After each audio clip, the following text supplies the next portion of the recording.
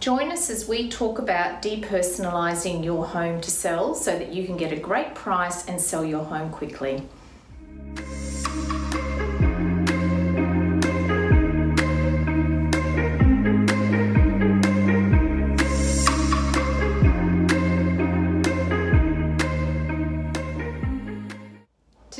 Coming to you to talk to you about the importance of depersonalizing your property when it comes to selling your home and the importance of doing so. Here we have a beautiful stairwell wall with family photographs in it. This is my own stairwell and it's a fairly prominent feature in my own home and a lot of people will actually come into my home and they'll come up and stand on the landing and look at the old family photographs. If I was selling, would I keep them there? The answer is no. Why not? First of all, you don't want your buyer knowing that you are selling your home. You actually don't want to detract buyers from wanting to look at your home. So you want to remove anything that's personal or confrontational because you want to attract the most number of buyers.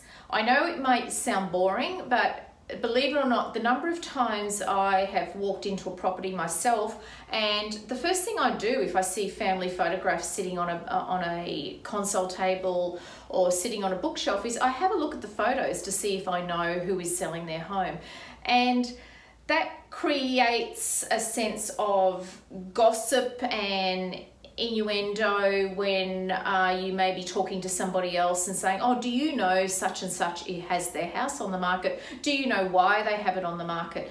And you actually want to depersonalize your home so that you are not creating that gossip that's happening behind the scenes. But that's not the only reason.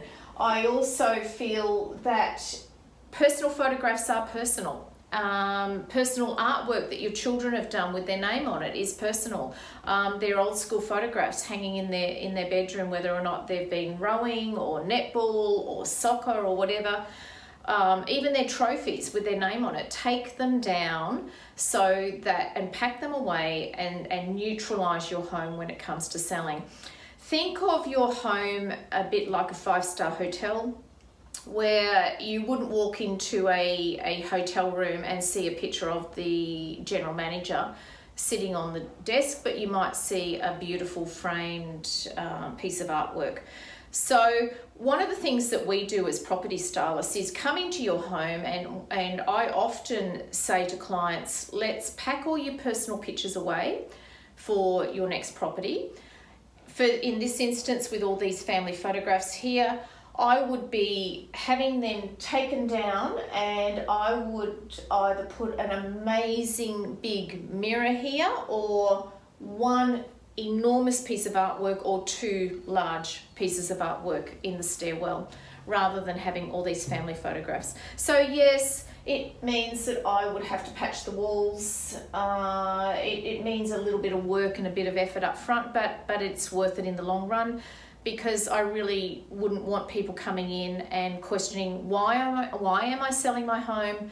And and that could be for various reasons. It could be that you've found something bigger and better. It could be that you're getting a divorce. It could be that um, that you can't afford your mortgage anymore and you have to sell. And so you really don't want people talking about that. And that's one of the reasons why we always suggest that you just depersonalize your home. So that's my tip for today uh, my husband has a deer head downstairs in his office. I would also take that down um, because a lot of people can find that quite confrontational. Don't use things like cowhide rugs on the floor. Always be mindful of people's sensitivity to, to certain things and make your home non-confrontational. So there's my tip for the week.